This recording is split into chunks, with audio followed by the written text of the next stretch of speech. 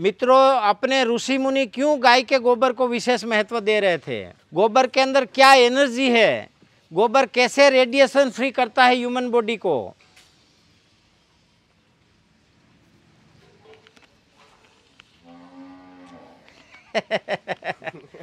इतना फ़र्क पड़ता है और मैं ये झूठ नहीं कह रहा हूँ, ये इसमें कोई मोनोपोली नहीं है, आप घर जाके आप भी ट्राई कर सकते हो। मित्रों, जब बात आती है गोबर की गोबर के बारे में छू छू बोलने वालों के लिए आज एक एक नया चमत्कार दिखाने का प्रयास करता हूँ। इसमें मेरा कोई रोल नहीं है, जो भी है गौ माता का देवत्व है। मैं तो बस प्रयास कर रहा हूँ कि सत्य को सामने लाना का। मैं कोई साइंटिस्ट नहीं हूँ, लेकिन दुनिया में हर हर इंसान को अधिकार है रिसर्च करने का और जाँच करने का। अभी हम एक छोटा सा प्रयास कर रहे हैं कि गाय के गोबर में रहने वालों को कोरोना नहीं हुआ, गाय के गोबर में और गौमूत्र के साथ काम करने वाले लोगों को बीमारियाँ नहीं होती और ये सब हम सुनते आते हैं बहुत समय से।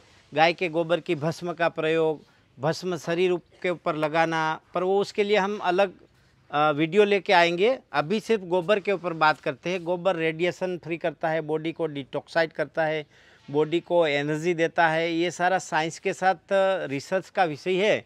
यदि इसमें रिसर्च होगा तो बहुत सारी बातें सामने आएगी। आपको अभी हम छोटा सा एक ट्रायल दिखाते हैं कि आ, एक अपने भाई है उसकी एनर्जी टेस्ट करते हैं। आओ भाई आओ। ये दो लोगों में हम ट्राई ले रहे हैं दोनों की एनर्जी टेस्ट कर रहे हैं। सीधो हम हाथ से दबाई जो कितना कितना नीचा होता है। एकदम इजीली हो जाता है। आराम से हो जाता है। अब ये दोनों को गाय के गोबर के पाउडर उसके ऊपर पैर रखवाते आ जाओ भाई।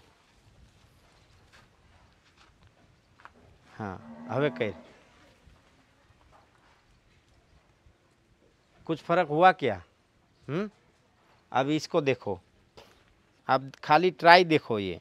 अब अब देखो इसका क्या फ़र्क पड़ता है। कोई फ़र्क आया क्या? हाँ? ये गाय के गोबर का पावर है। इतना पावर ये खाली इनसे बढ़ जाता है। अभी आप नीचे आ जाओ। अभी इसको, इस दोनों को एक कोल्ड ड्रिंक्स पिलाएँगे। जो लोग आजकल बाज़ार में बहुत पीते हैं। बस खाली मुँह में भर लो। હવે હવે હાથ દબાય એનો इतना फर्क पड़ता है आप देख रहे हैं है ना एकदम इजीली हो जा रहा है आ जाओ भाई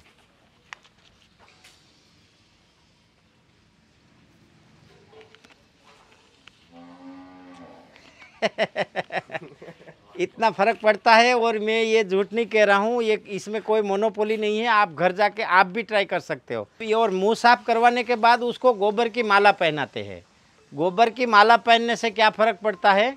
उसका भी हम ट्रायल लेते हैं। ये गाय के गोबर के बनी हुई माला है और ये माला उनको पहनाते हैं। ये चप्पल है, गोबर से बनी हुई। फ़र्क पड़ो कहीं। हम्म? तो ये फ़र्क है, आ जाओ।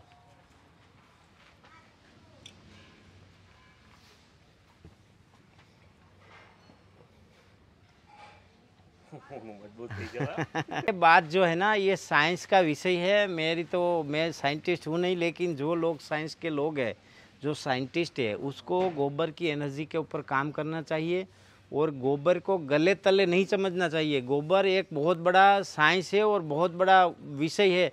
क्योंकि अपने ऋषि मुनि और अपने परंपरा से जुड़ा हुआ ये एक विषय है। ये कि आसन है गाय के गोबर से बना, अब इसके ऊपर खड़े रख के ट्राई करवाते हैं। आ जाओ।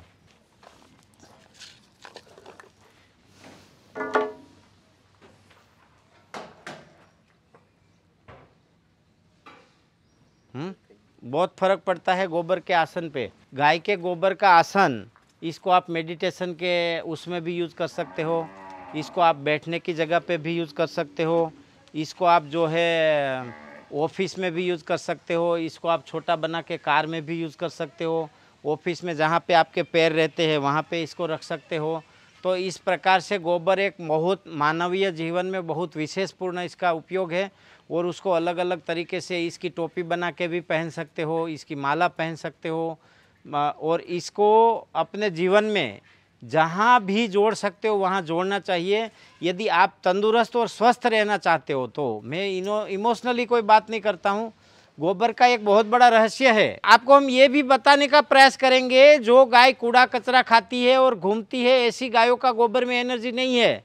जो गाय एकदम संतुलित आहार खाती है, संतुष्ट, तृप्त, खुश और बलवान है उसी गाय का, शुद्ध नस्ल की गाय का, उसी गाय का गोबर यज्ञ में लिया जाता है, उसी गाय का गोबर से कुटीरें लिपी जाती है, उसी गाय का गोबर मनुष्य को रोग मुक्त कर सकता है। गोबर में बहुत ज़्यादा ऊर्जा है, लेकिन समस्या ये है कि उसके ऊपर काम नहीं हो रहा है। आज हम आए हैं, फिर से मैं इनको एक ट्रायल के लिए यहाँ लाया हूँ। अपने दो साथी है, उसको अभी आप, उसका गौशाला के अंदर क्या पावर रहता है चप्पल पहन के, प्लास्टिक के चप्पल पहन के क्या पावर रहता है और बिना चप्पल से क्या पावर रहता है, उसका अभी हम एक डेमो लेंगे।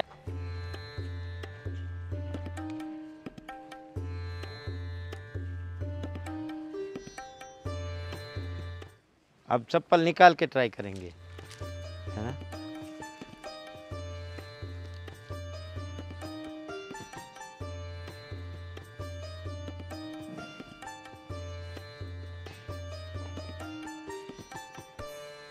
अब गाय के ऊपर हाथ रख के ट्राई करेंगे। ले। तो ये जो है, बहुत फ़र्क पड़ता है एनर्जी टेस्टिंग करने से, गाय के गोबर में रहने से। इंसान को कभी बीमारी नहीं आती, गाय के साथ काम करने वाले कभी कम बीमार होते हैं। ये जो सब वास्तविकता है, वो सही है, ऐसा नहीं है कि फ्रॉड है। और गोबर से मनुष्य जीवन को बहुत ही लाभ हो सकता है।